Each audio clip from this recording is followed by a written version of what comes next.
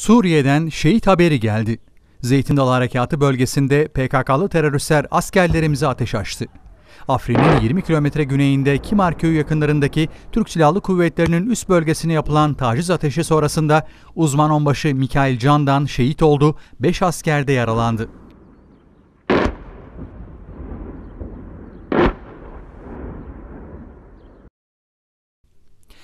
Milli Savunma Bakanlığı'ndan olayla ilgili yapılan açıklamada Zeytin Dalı Harekat Bölgesi'nde 26 Haziran 2019 tarihinde PKK-YPG'li teröristlerle çıkan çatışmada bir kahraman silah arkadaşımız şehit olmuş, 5 kahraman silah arkadaşımızsa yaralanmıştır denildi.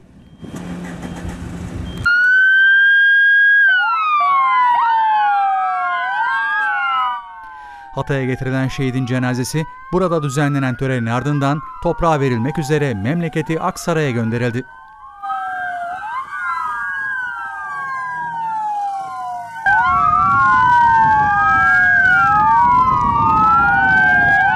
Şehit askerin cenaze namazı Aksaray merkeze bağlı Bağlıkaya beldesinde ikindi namazının ardından kılındı.